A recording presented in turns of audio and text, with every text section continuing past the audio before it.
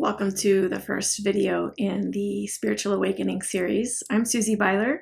I am a forerunner and emissary of Source Codes, and I felt inspired to share these videos with you about spiritual awakening because I've been asked over the years many times to share information about this, and I always felt like, no, no, no, and all of a sudden it's time. So uh, in this video, I'm going to share with you the stages of spiritual awakening. And in truth, they aren't actually necessarily stages. If you think of it more like a spiral where you keep expanding and you keep moving upward, uh, that will, if you have that in the back of your mind as we go through this, that will help you navigate the spiritual awakening journey. So, the first thing that happens with a spiritual awakening is some kind of catalyst. It could be a health crisis, it could be a death of someone, it could be really any life event. Uh, but there's some kind of catalyst to open you up to expanded consciousness. So, increased self awareness, increased awareness around the world around you, increased awareness of spiritual ideas and concepts, increased ability to sense things, increased ability to, to feel things, to intuit things, uh, just general expansion of your consciousness overall. And then what can happen after this or simultaneous to this is increased emotion about what you're starting to see. So if you're starting to wake up and see things, for example, in the political arena, you might get angry, totally normal reaction. Uh, some people, their awakening is very sudden, and so they actually go into psychosis. Uh, because the, the, split from what they knew and what they now know is too intense. Uh, the divide is too great. Some people go into existential crisis. That's pretty normal. Been there, done that. Uh, you and again, the spiral concept, you might experience that many times along your journey. These these mini existential crises, or going into the void, uh, feeling confused, not understanding what's happening. That's all normal. That's all part of the journey. Part of your journey, a stage that is really ongoing throughout, but healing. Old wounds may come to the surface. Uh, you may feel drawn to inner child healing to really work on those deep seated wounds that you had from your childhood. You will likely, hopefully, go through some repatterning and rewiring.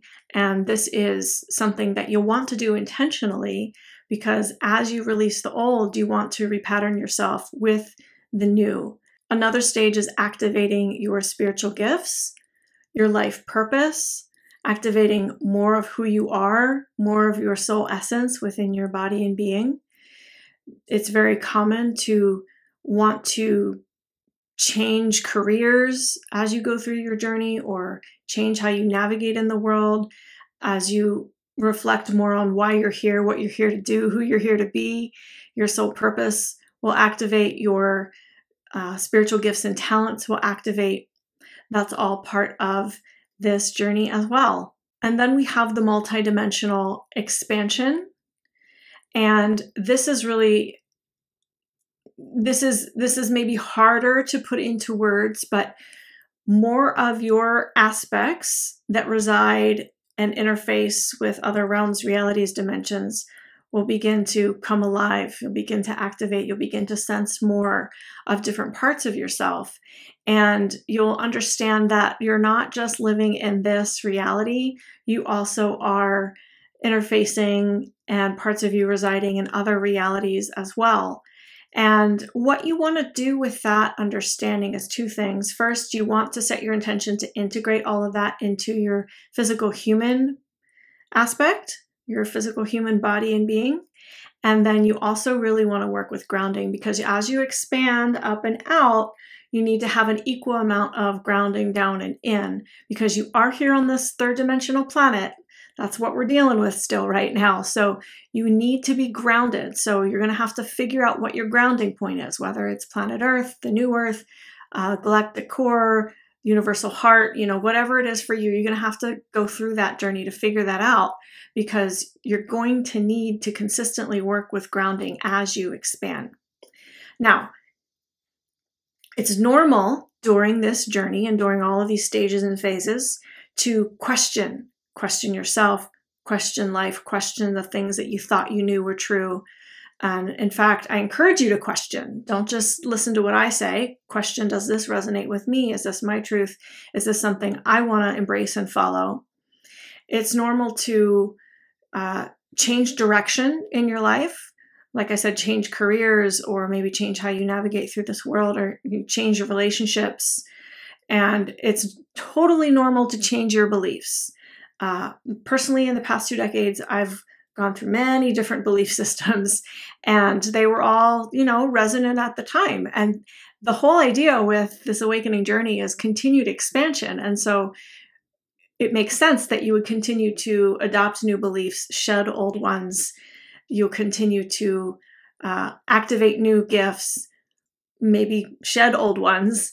Uh, you know, there's there's so much on this journey. It's a very ripe and rich journey, and you'll really want to stay as open as possible through your heart, through other energy channels in your body, so that you can really receive and embrace everything that is unfolding in your world and surrender to the divine, surrender to God, surrender to Jesus, figure out what is your truth and connecting to your own source and connecting to God and the source of all that is this is all part of the discovery. The awakening journey is a discovery process.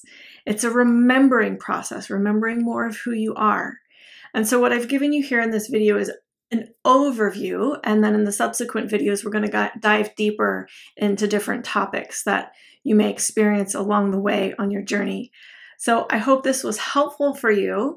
And if you're excited about this series, I encourage you to go to creationtemple.com slash donate and just give a little something to show your appreciation. And thank you for watching these videos.